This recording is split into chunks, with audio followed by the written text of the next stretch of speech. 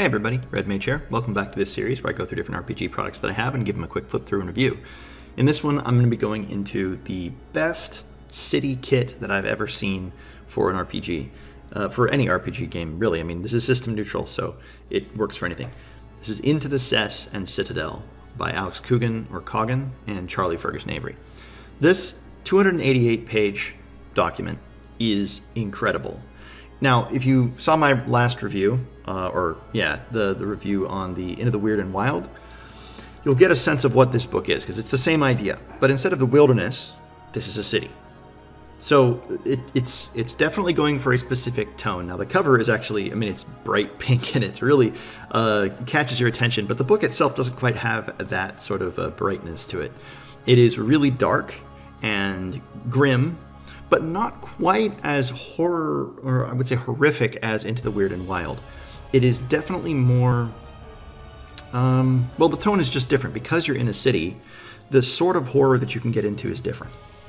Um, it's much more political. It's much more based on uh, sort of this oppression and a sense of like desperation, um, a sense of kind of you know the dangers that are out of your control. But rather than sort of these wild, random things that can happen to you in the wilderness, one of the things that this book makes clear is that the dangers in the city are reactive, which is an interesting difference. I really like the philosophy that goes into this book. So I'll, I'll go through it and we'll talk about, um, you know, just what, what's going on here and what you can, uh, what you can, what you can get if you get this book.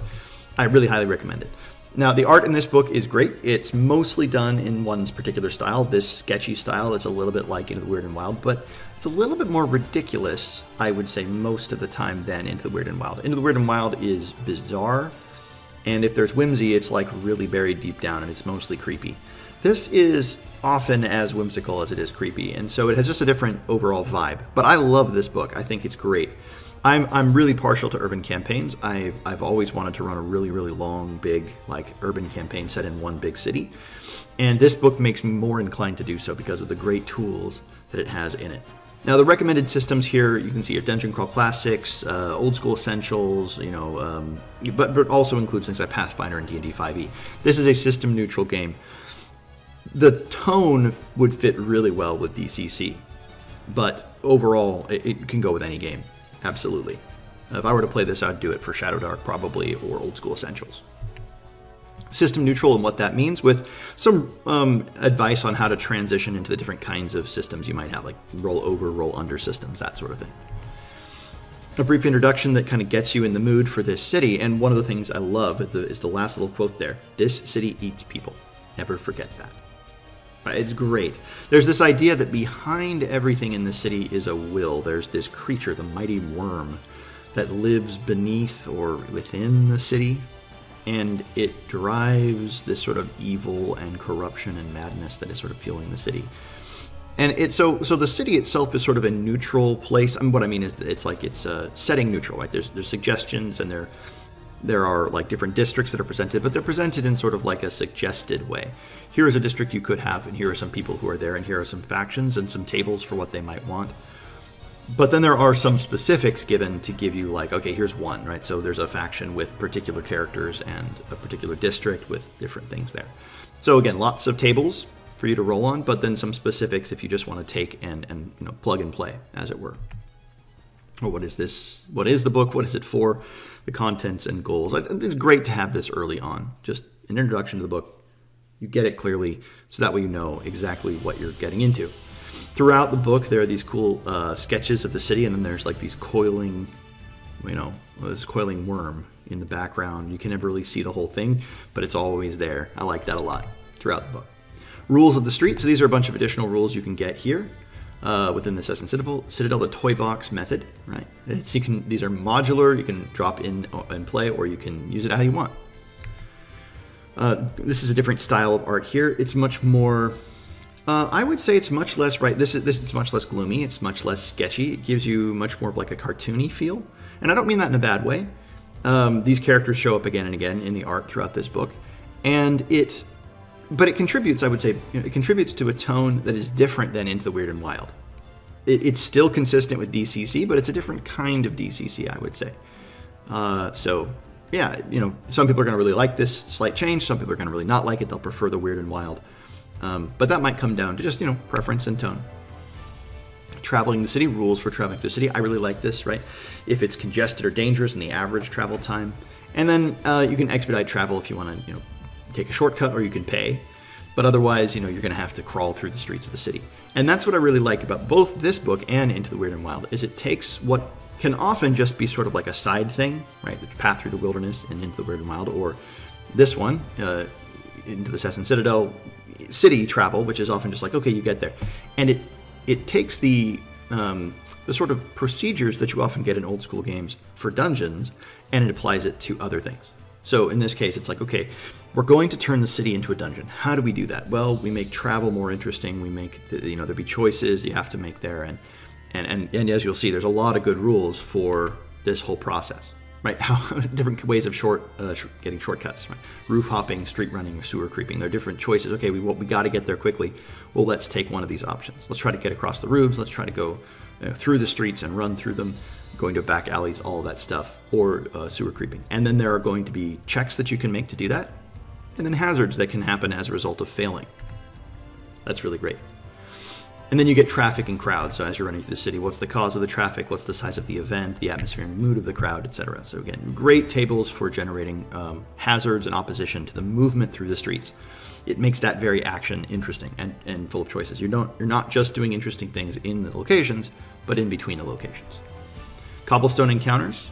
So if you run into people on the street like beggars or muggers or aristocrats, right, or magisters, you got really brief, simple stat blocks here along with what happens if you are mugged, or if during one of these encounters these things happen to you, you are considered to be mugged. And mugged is a technical term and it results in a technical thing. Um, so if, if you are wounded in retreat, if you're knocked unconscious, or if you're unwillingly robbed, something bad happens to you beyond that action. Different encounters and what they might want. How to rough it, right? If you if you don't have any money or you can't find a place to stay, well, there's some rules for that. The same thing with if you need to eat, because you're going to have to eat uh, and you don't have enough money, you can't find a good place to eat, you can go dumpster diving, basically, right? but you got to be careful because you can get really sick, and and really really harm yourself if you don't, uh, if you're not careful. Everything has its price, and I really like these these tables. You have hirelings and services, clothing, and then we'll see other goods on the next pages. But it breaks it down into four kinds: common, middling, wealthy, and opulent. And you know there are some rules for those things, but there are also you know it's just up to you very often in RPGs, you don't have a lot to spend your money on.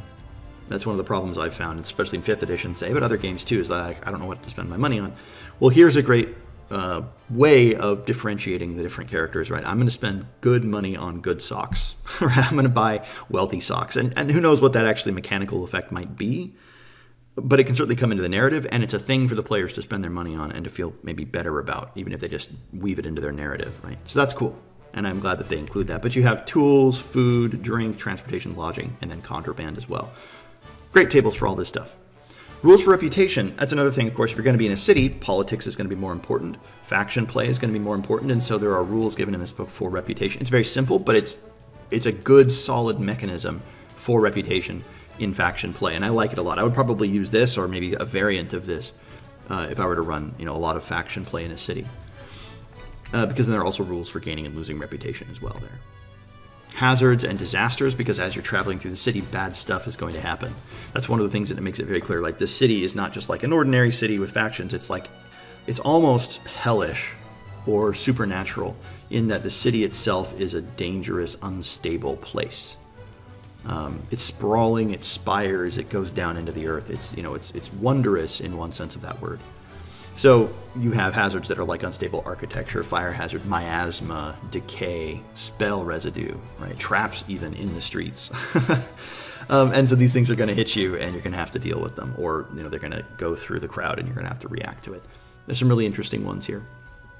And, and you know not just uh, you roll a d6 and then you roll a second d6 sometimes to see or maybe a d3 to see what uh, what the subtable is the same, with, same thing with disasters, right? A burning block, bridge collapse, crumbling buildings, pollution, diseases or flood, and then catastrophes, right? an outbreak of something, a purge or something, a wildfire, undercity collapse, because the undercity is a big part of the game. So if it, you know, if the city falls into it, then it's going to be a big deal, and what would happen there?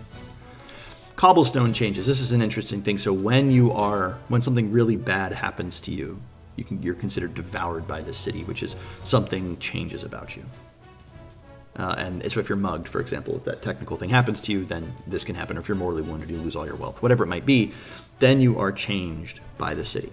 There's a d20 table for that change, and they are really interesting, right? Uh, you get uh, if you roll an 11, the most dangerous dangerous game. An aristocrat and their murderous house have selected you to be their quarry. They send a jovial letter introducing themselves and formally declare their intent to hunt you for sport. They will not cease unless killed. So really bad stuff that can happen as a result of being devoured by the city. So you don't want to be mugged. You don't want to go a month without food or without without lodging, I should say. You can't go a month without food, but a month without lodging, that sort of thing. And then cobblestone boon. So if you adapt, if you if you resist, right? So you rob or trick an aristocrat, you pull off a daring or dangerous score, you gain the favor of a faction, whatever it might be, you get a boon as you adapt to city life. And that's really cool. Things like uh, 17, face in the crowd. Your visage and demeanor becomes unassuming and undetectable. When hiding, you can quickly and easily blend into crowds, vanishing from injudicious, injudicious sight. That's great. Really cool. Diseases, because of course the city is going to be full of diseases, and there are 20 diseases here, and they're all described, and how to cure them. I think they're really cool. Gross, but I think that's awesome. Like the unwinding is a really cool one. A body of thread, twisted and tight, strands finally free to drift into the ethereal night. An ailment that breaks the ability of the afflicted to exist on the physical plane. Transmission, powerful ambient magic or exposure to magically polluted areas. The effect, each day save versus magic or lose 1d6 to a random ability as your body begins to fade and visibly fray into wispy ethereal tatters. And the cure is a tonic made from a ground up lodestone and a week spent inside a ritual circle made of salt, metal filings, and mortal bone meal. Creepy, but really cool. And the cure makes a lot of sense, right? You gotta ground yourself back in reality. Salt, lodestone, metal filings, bone. That's how you protect yourself from this ethereal unwinding. Super cool. Stuff like that is awesome and all throughout the book. We got another one of these uh, worm pieces. Cobblestone beasts. These are the creatures that live out in the streets, so it's a part of the monster manual. But the monster manual is broken up into districts. There's the general one here, and then there are specific ones for different districts later. There's the brick tick, the cobblestone crab, the court spider, demons, and I like that they demons is, is a catch-all term for weird creatures that result from the kind of magical, weird existence of the city. So it's it's more like something out of like Ghibli or something like that, like the art picture. The, you know, you, you think of the creatures from like. Um, uh, gosh, Spirited Away or something like that, not just like actual demons. Uh, but that's really interesting. And you've got random appearances you can generate from these guys. Dire pigeons, I love that. There are some dire pigeons in Castle Xyntillan. Really funny. Fists of the City, the Crookspriggan, really creepy hands, hand worm things that drag you away. Garbage shamblers, masters of procession. Now, one thing that's very clear here is if you ran this entire book as written, you're like, I'm going to put I'm going to put my characters in there. You're basically putting them into like I don't know one of the cities in the nine hells or something. Like it is it is horrifying and horrible, and there's just so many awful things. So probably most people aren't going to use everything in this book and just put it into a city. You certainly could, and but it would be like a horrific, nightmarish city. You could certainly do that if they travel to a different plane of existence, or if you just want your prime realm to be horrible and horrifying. Then you could just run this book as written. But probably what a lot of people will do is take what they like from it and make that a feature of their city. Um, that's, that's what I would imagine. The Sutfilk. Uh, Sutfilk. They're really creepy. They're fog spirits that walk backwards towards you, and then when you see them from the front, they're warped and trying to drag you into the darkness and the fog. Really creepy. Uh, then you get uh, you know encounters and moods for each of the creatures, for each of these encounters possibly, and then to build a city, how to actually do it. Really cool uh, advice here. Why a city? Wealth as safety and risk. Reactive, not random dangers. There's great philosophy here about the differences that you, you the different in a way of approaching a city campaign as opposed to a standard one. Um, how to run the city, and key points at the end of each of these chapters. Common goods and services are available quickly and conveniently. Danger is reactive and motivated. Wealth is tied to security and safety. Expensive areas are a danger to a character's wealth. So great little key points about you know, running this particular kind of city game. Creepy art there of one of the aristocrats. Faction relationships and a cool way of doing it with just a die drop table. So you just drop a bunch of uh, dice and then you know how to do it you know how to know the factions, and you can roll on these tables for their relationships, the actual factions, those who follow them, and those who struggle. And then that's the, uh, the sort of breakdown, right? Who's in the middle, who's following, and who's struggling. A way of looking at the different, uh, you know, just factions and their relationships to each other. And here are some example factions. Uh, and uh, something you can roll on, you can choose, or you can just provide, you can use them straight up. Uh, there are the anarchists, who are kind of the good guys. And, and in a way, you think of the anarchists as the good guys because the city is basically evil, right? It's it's it's evil, and and all of the the power structures in the city are basically evil. So it makes sense that the good guys would be the ones who want to destroy that. So anarchists, hence. You have the artists and different kinds of artists and what they want, and it's really interesting the colleges, the crime syndicates, criminal gangs, cults, enforcers, grand guilds, high guilds, lesser guilds, local businesses, mage cabals, neighborhood watches, noble families, the occult circle, overlords, political parties, religious institutions. And then you can generate your city. So you roll it out and you see where the different districts are with a six mile scale. Um, which is cool. You determine danger, and then you can roll for that. What are the dangers in between these districts or in the particular districts? And then you go down to the one mile scale and figure it out more particularly from there with tables for features and issues there, and then descriptions of each of those. So that's really cool. Good, uh, you know, advice here and uh, guidance here for making your districts, your city actually more interesting, and doing all that stuff. Generating a building, generating house block form- forms, and doing second stories, and really cool D6 building rooms. Uh, D6 atmospheres with subtables on these atmospheres. All the way through, infested a heap hideouts, right, and the different kinds of uh, hideouts you can get. Suspicion and trouble, how to upgrade rooms in your hideout, and what it would cost and what it does as a result. Street generators, street name prefix, street suffix, uh, random streets that you can roll on. D6 roll D6 twice. An NPC generator. It's only D20, but you also get appearance, manners, and quirk. And a shop generator. Inside, reputation and quirk. I searched the body table. So lots and lots of great tables in this book, cobblestone treasures for, for running a random uh, campaign. Then you get the, basically the districts of the city. One of them, of course, is the Undercity. And that is an, almost a different kind of game down here.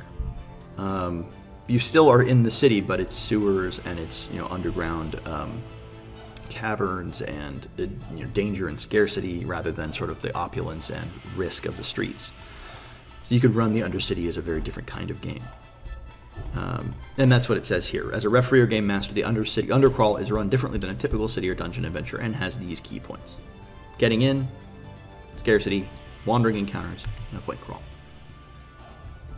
Art that feels, again, more in tune with that sort of cartoonish look rather than the, the really. I mean, it's still bizarre, but again, it takes me more to like Ghibli or something like that.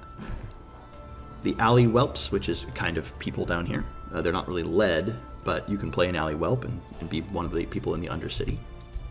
Exploring it and generating it.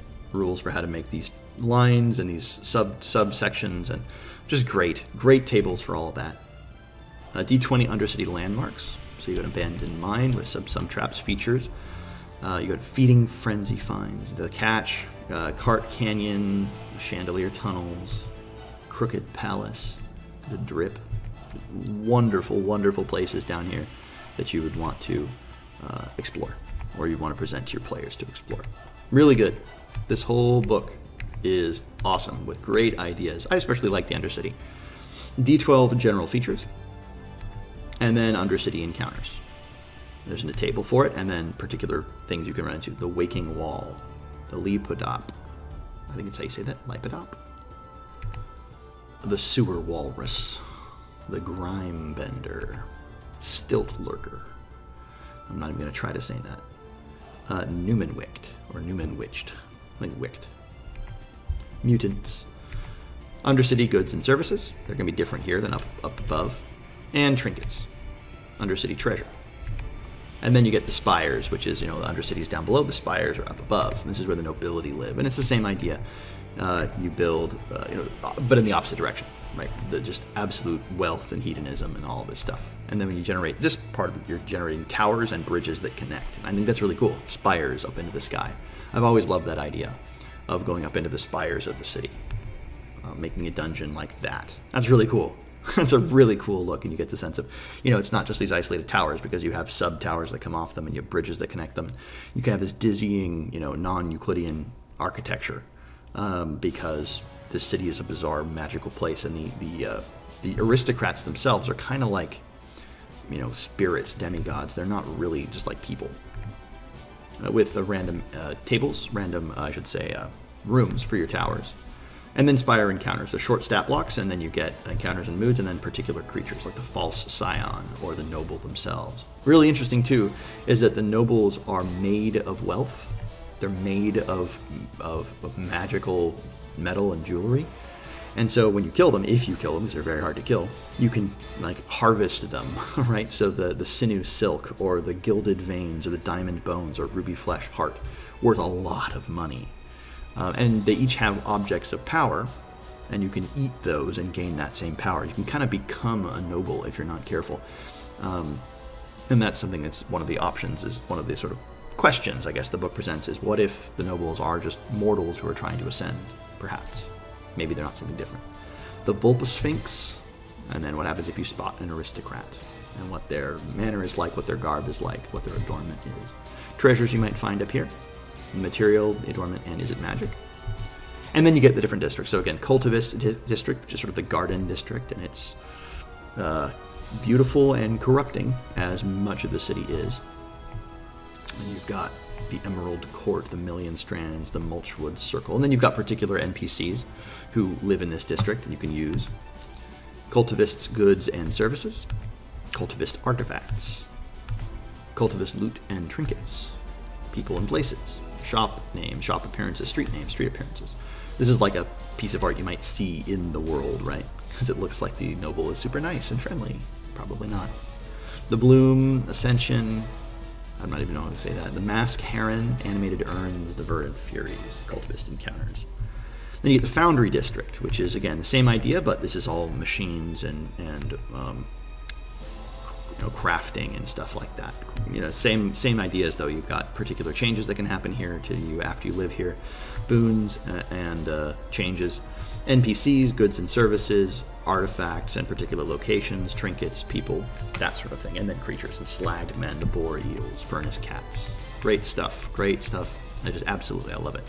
Archivist district, same idea, but you know we're talking about books and librarian knowledge, cartography, that sort of thing more creatures there. One of these creatures I love. It's the Grimoire Mummy. It's such a good piece of art, and I love the idea here, right? So it's a, a mummy that's wrapped in magical texts and tomes from books. That's so cool instead of the regular wrapping. I love that. Uh, Scuttle Imps, Stack Panthers. That's a really cool piece of art too. Artifacts and spells for the for the city as a whole. You've got Altar of the Worm, the Artiser's Panacea, Crooked Canes, the Grifter's Deck, Morbid Ottoman, the Rat Signal, Wax Eye Chair, and then Cobblestone Spells, spells for this particular city. Chimney Cannon, Cinder Pup, Dubious Slip. You can tell, again, the tone is just not as dark. It's still dark, don't get me wrong, obviously, but it's not as dark as Into the Wyrd and Wild, which is like really often gruesome. The influence here is not quite that dark. A uh, hundred locations, great locations. Um, Dust Coliseum, The Great Collapse, Jelly Spotter Bridge, Mushel's Tower, the San Jab, Three Legged Market, Yellow Yard, little menagerie there. That repeat of the art, but it's done in pink. Running a city, and just the brief rules for this and how to prepare, making your city, preparing city adventures, and then the total conversion of how to do it. Actually, so there's a world map art or world map, uh, not art. what do you call that? Handout, I suppose. Local map handout, price sheet handout, faction handouts, and then a time clock, which is really cool. You have a day counter and a week counter with notes. Each tick is one hour, and you just can go through it, tick it off. So you could print this off and tick it off, you know, by hand, or you could use a PDF and just go through it. It's really interesting. I like that they include that and then an index and additional reading at the end. One of the, the things, and I think this comes through really strongly throughout this book, is Jonathan Strange and Mr. Norrell by Susanna Clarke. I think that is actually one very clear. But also Crime and Punishment by Dostoevsky. I think you get that too. One of the one of the um, one of the elements of Crime, Crime and Punishment is uh, the sort of feverish nightmarish uh, reaction to the city that the main character has throughout, and I think that's definitely what this like. The city is it very much feels like a nightmare or a fever dream or something like that. So I can see where that comes from. And then the end. So Into the Cess and Citadel is one of the best, if not the best, city supplement I've ever seen. I know there are others out there, and I know there are some that people swear by, but this one is really, really good, especially if you do want that more nightmarish city. If you're going to run a campaign in a city, um, you know, how do you make that city interesting? How do you make it feel unique to the players? How do you make it feel like a, a the site of a, of a campaign? Well, one of the ways of doing that is to make it dangerous and and make it like a dungeon itself right? That you're really still kind of doing a dungeon crawl. It's just instead of in being in an enclosed space, you're in an open city. But you still can follow rules. You can still make the, the process of moving from one place to the next interesting. City here is not a downtime place, right? That's what this book does. It turns the city from a downtime place into a dungeon, basically, into the site of adventures by leaning into what makes dungeons interesting, you know, dangerous, uh, they're nightmarish, they're on the borders of reality. Well, it's like, what if the city was like that? Okay, well, then you take this book. So if you want that sort of dungeon converted into a city, then use this book. But again, it's not going to be for everybody, uh, but the tables are interesting and useful. I think you could use those uh, in almost any campaign, even if you weren't going to run this kind of city. And certainly there's a lot of inspiration here for factions and for villains and for things in the background. You can take the creatures from this book and use them in your game because they're basically system neutral. Anyway, I'll put a link below to where you can get it. I highly recommend it. Hope this has been interesting, guys, and I'll see you in another video.